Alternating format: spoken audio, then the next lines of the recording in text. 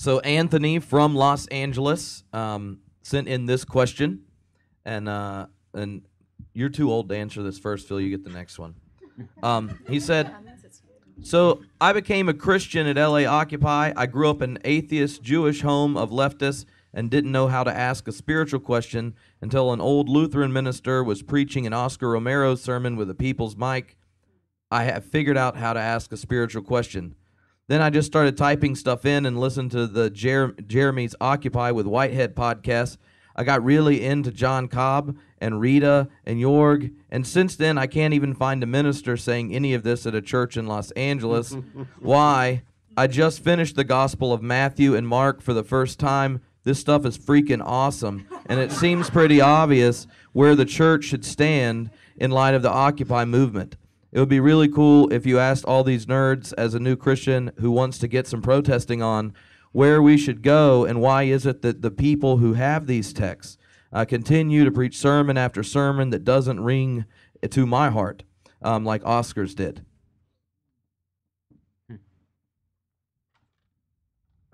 Is he asking for a church recommendation? No, I, but I think I think he's asking why why is it as people who are young and look at Ignate, yeah we'll send a direct tweet, but um, uh, but wh- why is it uh, as uh, as kind of a younger people who are who are resonating with this, and all of a sudden he heard a spiritual question for the first time right at an Occupy protest, and so. Uh, what do you think it is that has let so many people not even see the church as a spiritual place, has never said a word that evoked something spiritual, but then all of a sudden, this did. And uh, wh- what would the church look like if we created this kind of place um, where uh, uh, where people who are committed to justice all of a sudden found some divine energy to put in the middle of it?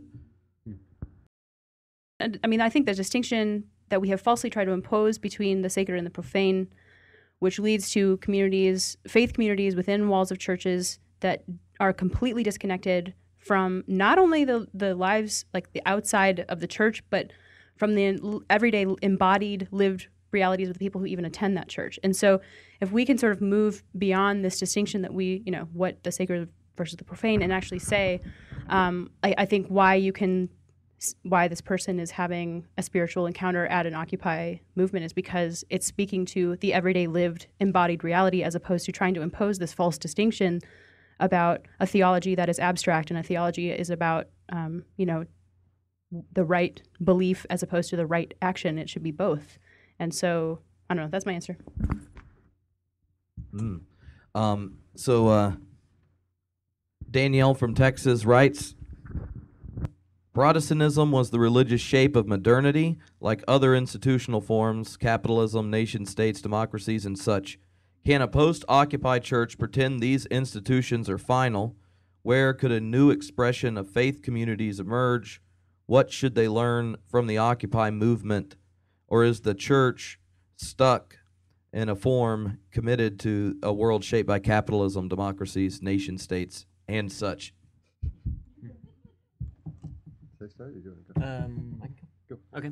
Um, well, one of the important things I've learned from both Whitehead and Marx is that um, abstractions are not final, and capitalism is an abstraction.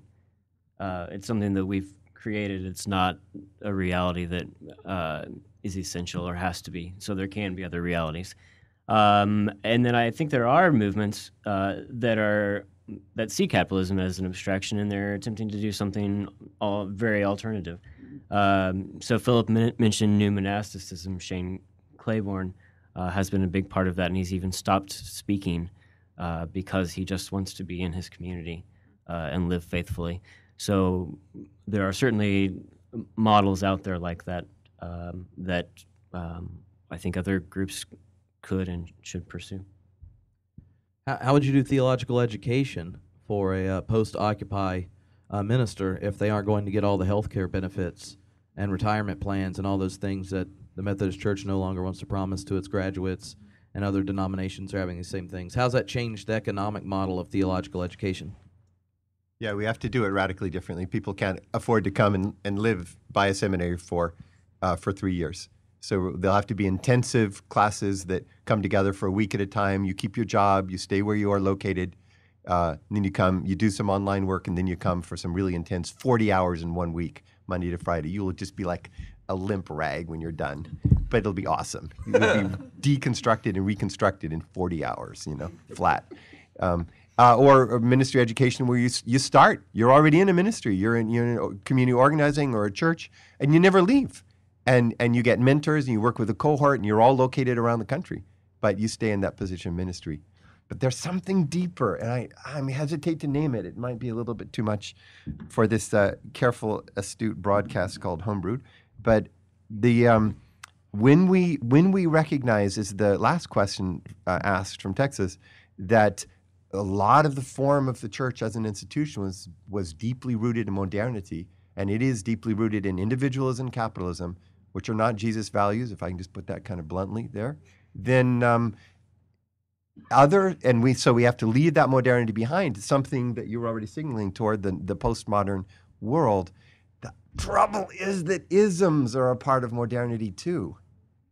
And whoa you mean we have to make this little transition without our isms and start rebuilding all over again from what donna haraway calls situated knowledge? That location where your body is your language is and your face color is that that's all relevant now whoa right? You can't just go back to Constantine or we can't just go back to a creed and, and have it all right.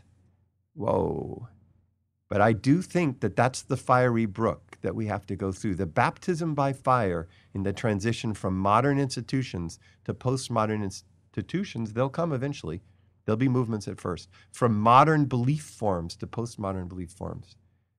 Occupy the church is not just a matter of feeding homeless in that church basement once a week, you know, or showing up with a few extra items of clothes that no longer fit and are too ragged and give them away to someone, you know, who who doesn't have anything, or I- you know, a pair of socks now and then. You get reconstructed, and that one hurts. You got to spend some time homeless, police speaking, homeless in terms of identity, homeless in terms of who are my friends, who are my brothers and sisters. And when you rebuild that one, then boy, we got an Occupy that's going to stick.